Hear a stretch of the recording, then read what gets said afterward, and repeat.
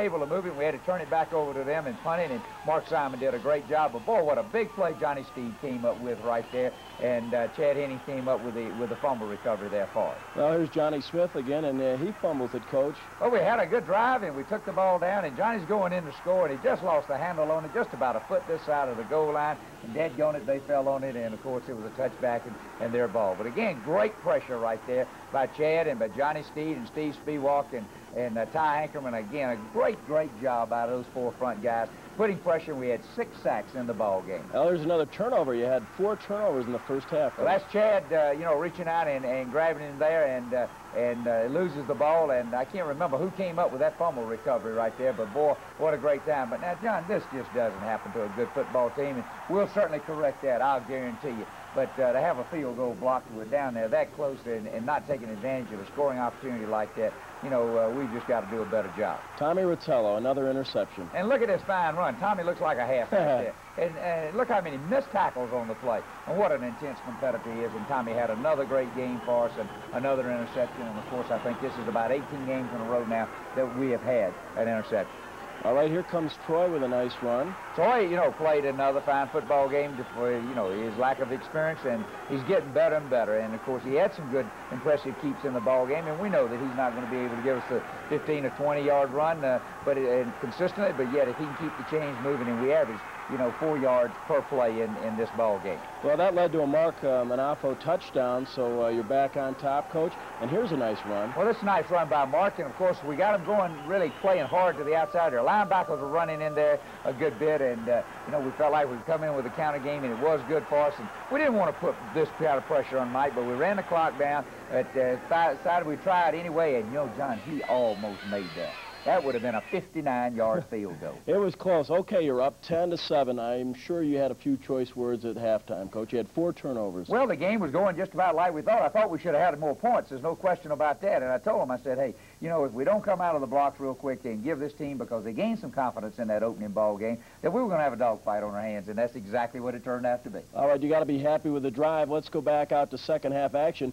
And at this point, Coach, this drive's going to be one of your best, I thought, of the season so Eight, far. 80 yards and 11 plays, and I was so pleased with the poise. And I told our offense, I said, we've got to take that ball now. We've got to put points on the board. We, we changed our game plan a little bit, not a great deal, and started attacking the nub side of our unbalanced formation. And uh, Troy did a great job pitching uh, in the open field there, and Mark did a great job. Watch the blocking by Johnny Smith there. And this was a fine 24-yard run by by Mark. And, you know, Mark is giving us the same thing that Kelly Pittman gave us outside. Johnny's doing a great job There's blocking. Johnny getting in. Exactly. And Johnny's such a good inside runner. You can't hardly find him there. But I'll tell you one thing, he wasn't going to turn that one loose. I guarantee you. 11 plays, 80 yards, four and a half minutes, Coach, and you got a you got a 10-point lead and a really a great drive, but they come back, although you're still playing tough D. Well, we're playing great D. Now, watch that pressure right there. I'm telling you what, Chad Hennings, and again, we had six sacks in the game, and, you know, uh, I can't say enough about the pressure that our defense, they keep working. They're, uh, you know, against size odds up there all the time.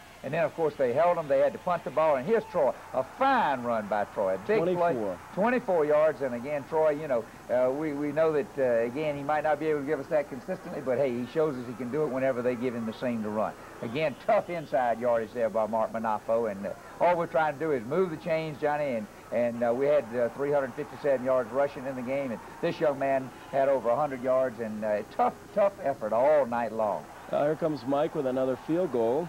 Another field goal, and of course this one was from uh, 22 yards out, and uh, and uh, you know Mike, I, he is what academy football is all about. John, there's not a guy in the world that's worked any harder to develop his leg strength than Mike, and uh, you know Mike's been so patient. He's a junior and uh, didn't even make our traveling squad last year. This guy had a good game, Sammy Garza. Oh, of course, you know he's going to be one of the premier passers in our conference. With a great hit there by Steve Sigler, I guarantee you. Here's Terry Mackey coming in, and he's going to make a sack for three-yard Fine, loss. fine sack. Good pressure there by Ty. Good, good, good pressure there by Johnny Steed. And, boy, Johnny's going to be a force to be reckoned with this year, and, and he's played extremely well both games. But, uh, you know, here's a situation where they, they executed very well to Collins. And, boy, Garza is a fine passer. And if you give him time back there, he is, he, you know, he is going to be very, very effective for them. And they're going to, they're going to move the ball, and they're going to win a lot of football games down at UTEP this year. They're a big play type of offense, really, aren't they? They really are. And, of course, here's a fine play on Garza's part right here. Reversing his field, and the type of coverage we had, we didn't leave the backside back flat open, but what happened is that we came with the receiver across there, and when he broke and reversed his field, we just didn't have anybody back there on that side. But boy, this couldn't happen at a better time, and Terry comes up with a fumble recovery right here inside the 20-yard line, and again, that's typical of our defense, just like it was last year. They were able to take the ball, move down the field, but down when they got down inside that 20-yard line, our defense really got tough. Nice little screen pass to Mark. Well, this was a fine read on Troy's part, and Troy showed a lot of poise there. Uh, we had a pass call downfield. He read the read the underneath coverage there, and a halfback was open. Boy, what a fine run by John Harvey right here. And, uh, you know, the guy's got great speed. Uh, Bob Stull told me before the game that John was as talented as any back that they had ever had and probably had as much or more talent than any back they ever had at the time that he was coaching the University of Washington. Coach, so that's a pretty high compliment to a young man. They go to Parker for the touchdown. They kick the extra point, and hey, you are in trouble. You're down by a point, 151. I know you work on the drive at the end of the game a lot. Here we go, Pat Evans. Well, the first play, we, we go to Pat on the fullback draw, and of course he gets us out, and that gives our team some uh, confidence there. But, uh, John, this is not by accident. We work on this at least two or three times. Uh, Biggest play of the game. Exactly. Uh, this was a big play. It was a fourth down and six play, and uh, we gave the ball to our fullback because we knew that they would be playing us outside because we'd been running the option, you know, outside. And then, of course, uh, Mike comes through with the 44-yard field goal, and he couldn't come at a better time with one second left.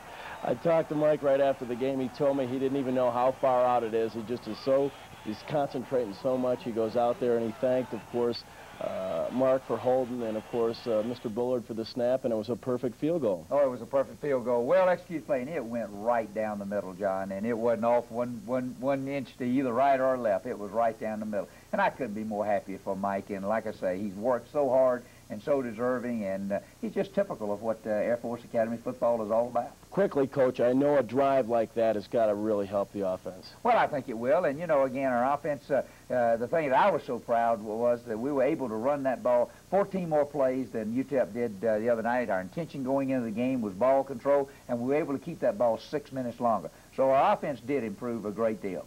All right, Coach, we're going to come back and have our weekly Academy Life features, meet one of the coaches, and one of the players up close and personal. We'll have that right after this.